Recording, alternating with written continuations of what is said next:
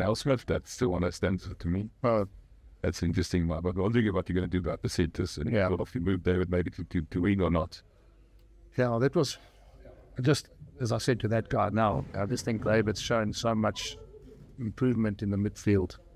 And what tends to happen if you move him, then you make you make another change. In other words, you you break something that's that's that's basically trying to be you know trying to be put together. So and uh and he's trained well. Like Cornell, Cornell's trained really well. Cornell, as in Smith, is trained well.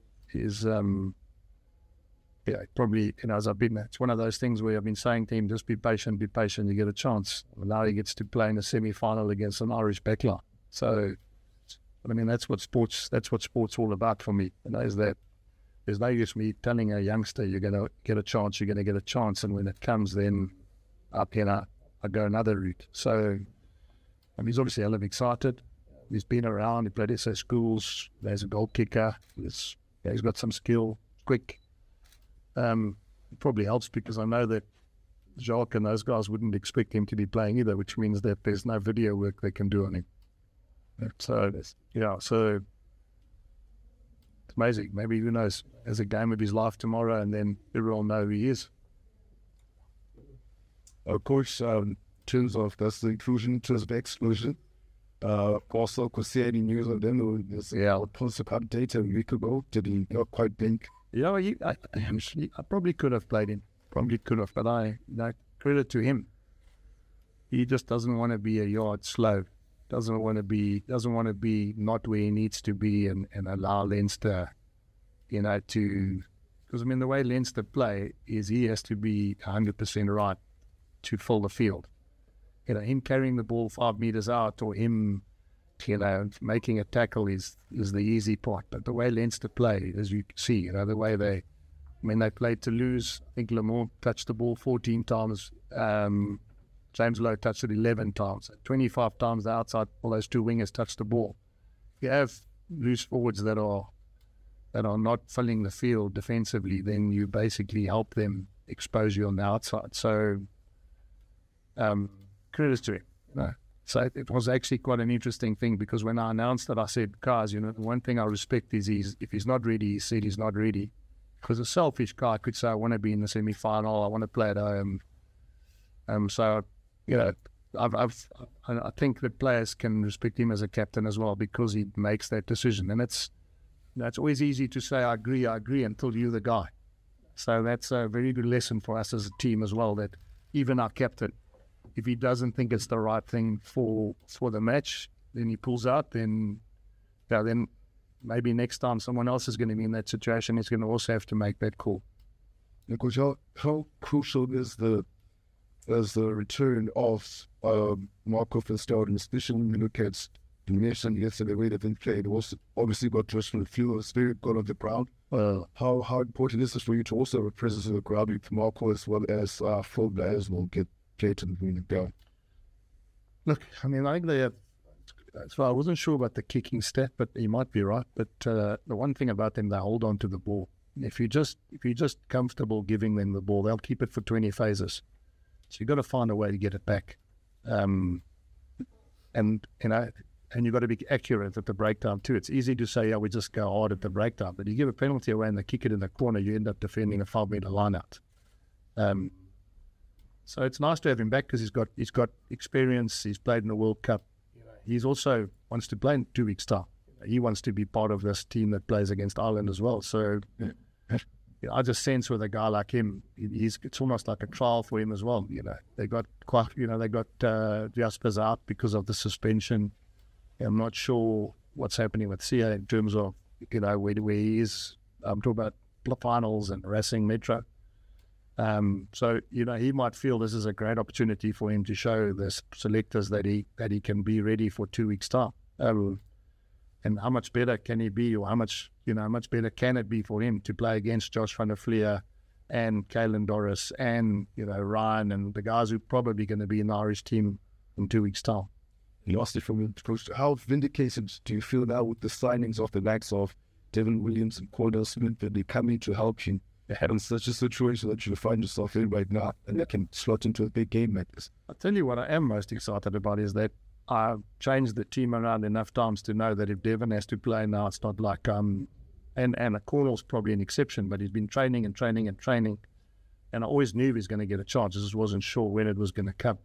Um, it's not a case of being vindicated. You want a squad that's balanced, and you want a squad that you can interchange. And I mean, Devon was on fire in the beginning of the year when Vinny wasn't here. I mean, Devon was one of the stars of our team. So you know, he also adds a different dimension as well. He's left-footed and he's played fullback, so it means he's going to be good under the high ball because he's you know, and they, we know they're going to they like to kick up and unders as well. So yeah, I mean, it's not. I'm not just singing out those two guys. I think the fact that Cameron comes in and starts above Marcel doesn't.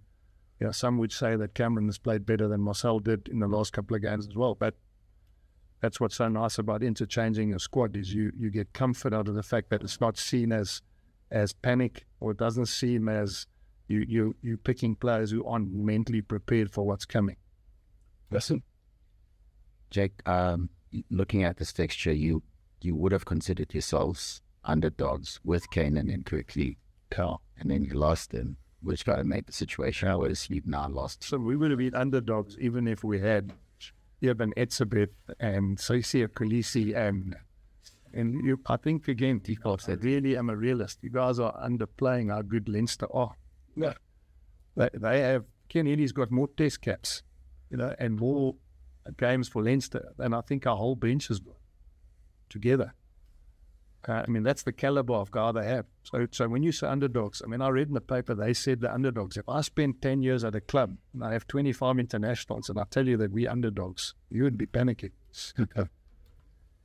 but, but the question was, how much worse is your situation now? Uh, well, it's, it's, not worse, as in I wouldn't use the word worse. It was it would be better if we had those experienced players there. But I tell you, that's what the beauty of sport is. Is no one thought Benetton could beat us last week, and they nearly beat us. And so, you know, it just shows that on the day, you, if you play well enough and you and, you believe and you and you have a crack, and that's one thing that I'm going to say to you. We're gonna we're gonna we're gonna have a go. We're not going to die wondering. Um, so you know, if I sit here and I go, geez, we've lost Kane and we've lost Kurt-Lee, and geez, what happens if we, you know, Marcel's not playing? Well, then, then we really got no chance anyway. So, so I mean, those guys, who knows? Maybe Devon scores the winning try tomorrow, ends up becoming a household name in Pretoria. That's how quickly sport changes. So, I'm I'm comfortable. I mean, that's the best we've got. That's that's we we've we've we've prepared as best we can we know the challenge. I'm not. I'm really not uh, naive or unrealistic in saying to you this is. Like I said it, and it's quite quite spooky when he says it. But it's probably the biggest club game we've had in a long, long, long, long time. Um, especially because they're coming here in two weeks' time to play a test match. So it's a little bit like playing the Crusaders, and next week the All Black, or two weeks' time the All Blacks are coming here, and two thirds of the All Black team are playing for the Crusaders. So, and this group's never experienced that and the Victors and the Bakkies and the Pierce Pieces and the Fourie du they, they, they got that. These guys have, you know, Rainbow Cups have been against Griquas, Pumas, Griffins. And then they go through, you know, the next trophy, whatever, Super Rugby unlocked, and they get Lions away and Stormers away. And, and all of a sudden, four years later, you're getting Leinster with 25 internationals, a World Cup winning coach, um, and a team that's desperate to win. Oh, you know, there's no more I can say about that other than we'll have to see tomorrow where we are. Well, that's sorry, get I could ask on that. Um, a lot of the talk since since Benetton um, from from you guys about what chances you have of, of beating Leinster tomorrow has centered on someone said defense. You know, going to defend for our lives. Um, Yanis, I think, said we got to be good at things that you're only talent for um, you know, altitude, heat, hopefully, um, all of that stuff. It's those stuff that's not technical. At a technical level, what is it that you you think you should be you should do to to beat this team? Given that you've actually statistically got the better lineout, yeah. and they've turned over more turnovers than you have. You've taken turnovers and they are. Yeah. I would say the one thing is well, not the one thing, but the technical stuff is just doing the basics as well as you can. Now, there's, you read any book, or Craven Road or whatever. You need your set piece. You need your defensive pattern. You need your goal kicker to kick well. Um, yeah, I suppose those are just. I mean, I know it's such an obvious answer, but against a team like this, and then the last thing is you're going to have to fight for 80 minutes because they're a quality team. I mean, they they took Toulouse into injury time, and Toulouse a budget of about 300 million. Um, and and they've got the best rugby player in the world now in in that nine, and they've got Intermac at ten, and they took that team into injury time before they lost the game. So without without sitting here and because it almost sounds like you know like I, whatever I say is wrong, but we we we still got to grow. We I've been here four years, and I to you, we played Griquas and we played Griffins and we play, and now it's gone like from that to Leinster at home and and all these test players and all these guys don't underestimate they too want to play for Ireland. They too want to make sure that the Irish coach wants to back them. So we're just going to have to be as good as we can at the things we do. And the answer technically is just do the basics as well as you can, and don't try and, and don't try and do things that you that you that you don't need to do, because it's not going to take a it's not going to take um it's going to take a team effort. Even the bench I'm going to have to use my bench tomorrow as well because if they play for 80 minutes, um, then I'm going to expect the bench to be to be part of that that fixture as well. Jake, this, we saw what happened in Dublin when the Leinster bench came on. Um, and we also saw recently a team like the Warriors um, finishing very strongly in the second half against the Bulls, yeah, Loftus. It's almost like, you know, that story is coming in the second half. You know, how you count it. Well, it just depends. I- Again, I can only answer when I see what team they're going to pick. You know, hopefully they do the same thing and put their bench, all the best players on the bench. Yeah. Uh, and when I say hopefully, I'm saying then hopefully we get a good start and they got to play catch up. But I can't answer until I know how they're going to. I mean, that game specifically, they put all the main guys on the bench, and then they, when we put our bench on, then basically our bench, who, who were guys that and weren't our number one, were playing their number ones. So, which if you think about it, is is a massive difference. So I can only answer Quibus on. I don't know what they're going to do. I mean, I'm only see, but but I don't.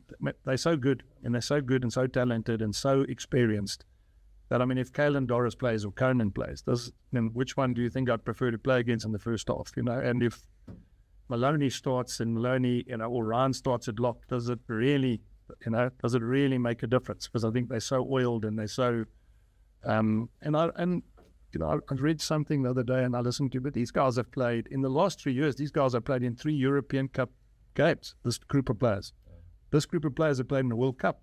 This group of players have played in URC playoffs. This group of players have played in Six Nations and won Six Nations. Now, when you add that up, Quibus, geez, that's an incredible fast tracking of skill, experience, and compared to Griquas away or Pum Pumas at home or you you know that's where that's what we that's that's been up no one's fault just trying to compare apples with apples this group of players have won six nations played in the world cups played three european cup finals played in geez they i mean they and all they do is they change the color of their jersey they go blue one week green the next week now that's a wonderful position to be in it's a little bit like when i got to the brumbies and the days of Gregan, Larkham, Mortlock, Roff, you know, uh, that team, Finegan, um, Jeremy Paul, Ben, I mean, Bill Young, you know, that, that team played for Australia. They played for Brumbies and uh, Super Rugby, and then they swapped to gold jerseys and they play for, it's no different to what's happening in Ireland. And, and, I, and I say it to you because that's where I want to get to. I want to get to when we run out the tunnel,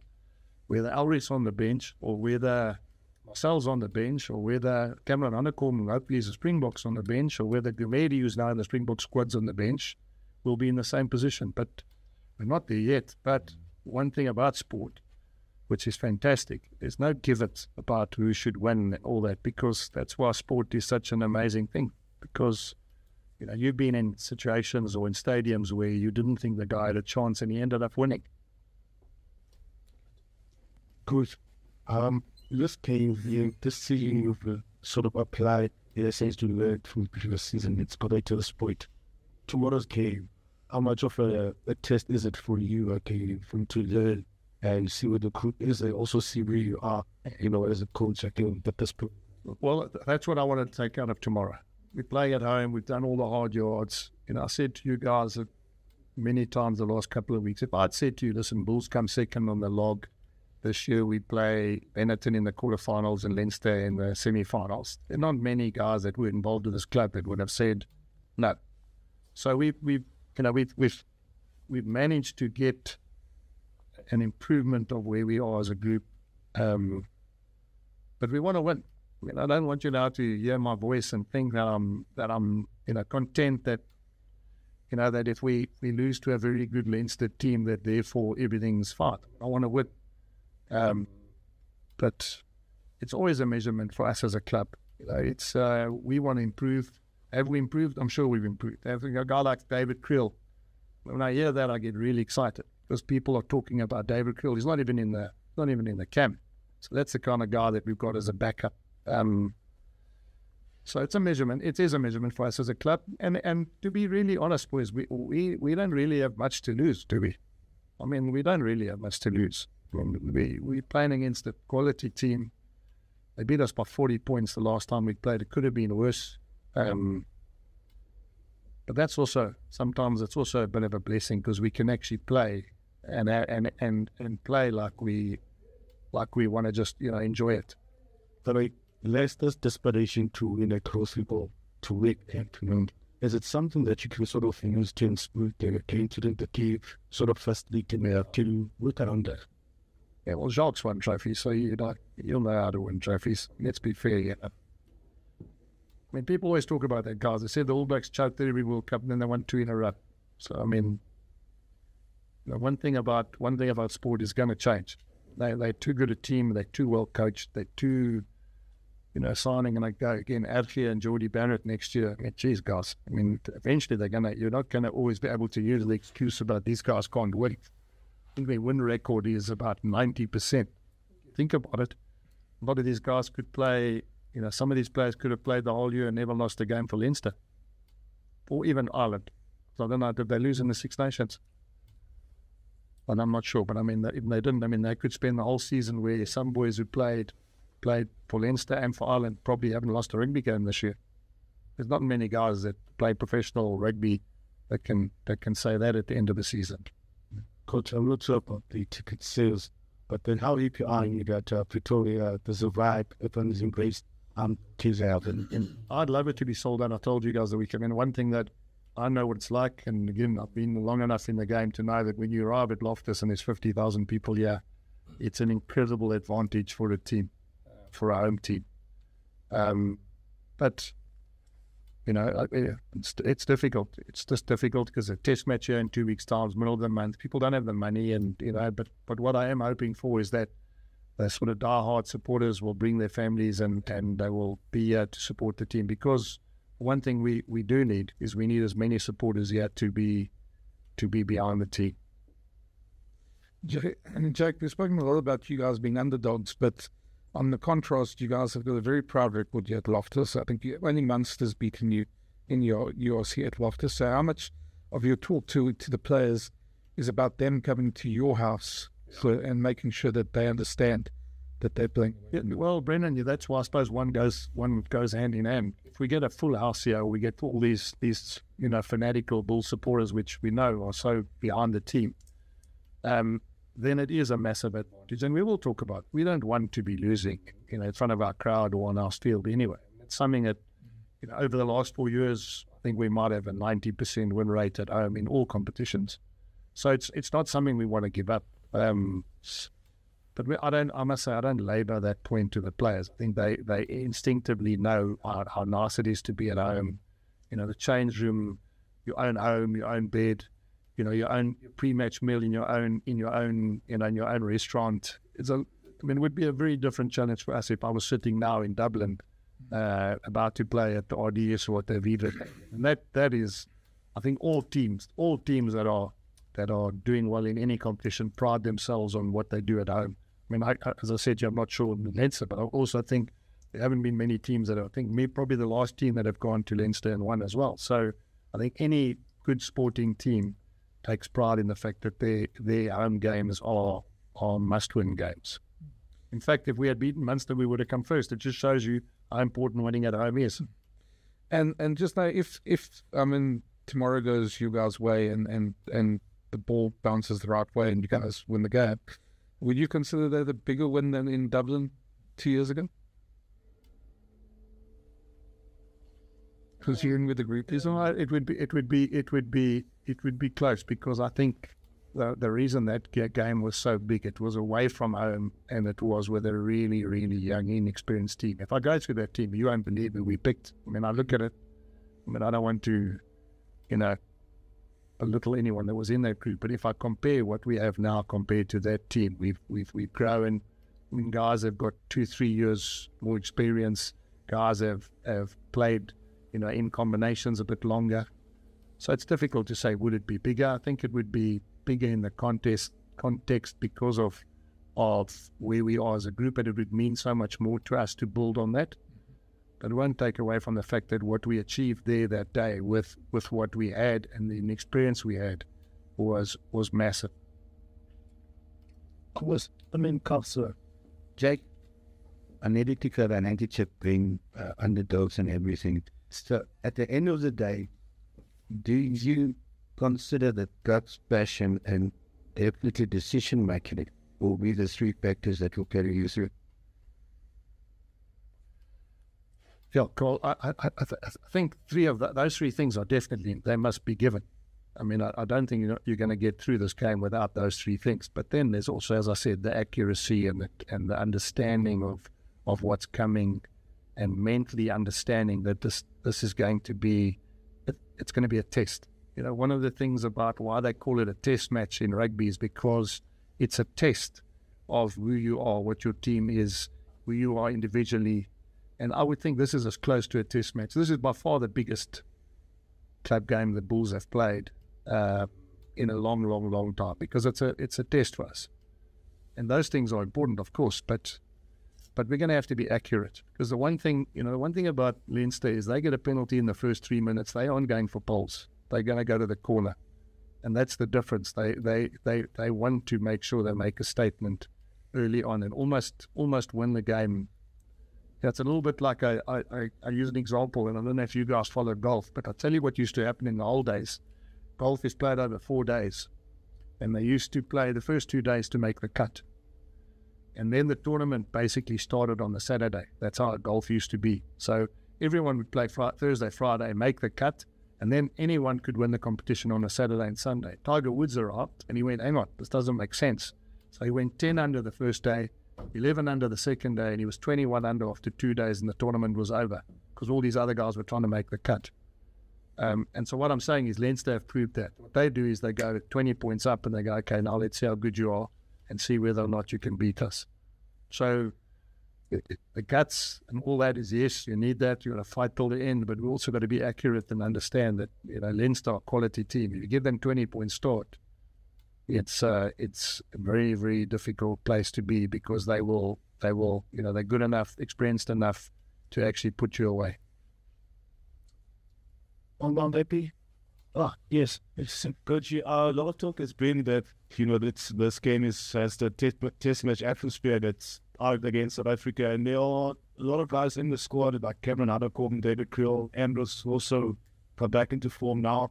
How do you sort of handle the mental aspect for those guys knocking on the speed walk door going into the Syria on the Yeah, it's a really good question because I, I just stress to them that they're not going to make the Springbok team by being individuals and playing trials. So, you know, that, that is my message to them. You're not going to make the team because you're trying to play for yourself.